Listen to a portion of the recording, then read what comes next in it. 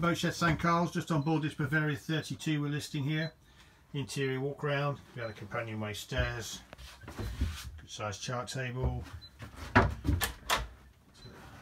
size heads and shower.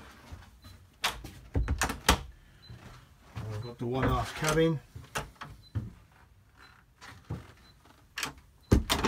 As you can see, boat's in excellent order, very very little use.